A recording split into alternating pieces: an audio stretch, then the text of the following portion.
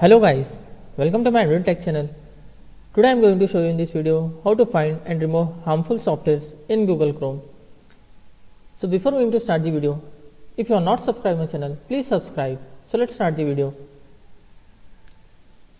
First of all, you need to open the Google, Google Chrome. After this, top right side three dot, click settings.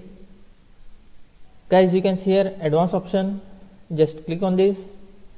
In this you have to select reset and cleanup option. You can see here cleanup computer just click on this. Guys you can read this one find harmful software. Chrome can find harmful software on your computer and remove it. If there is no check mark on this just check mark this option.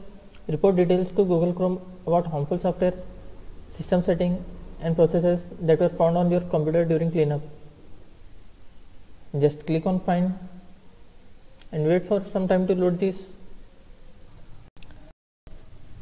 Guys here it will take some time. If you find any of the unwanted or harmful softwares you can remove it from here.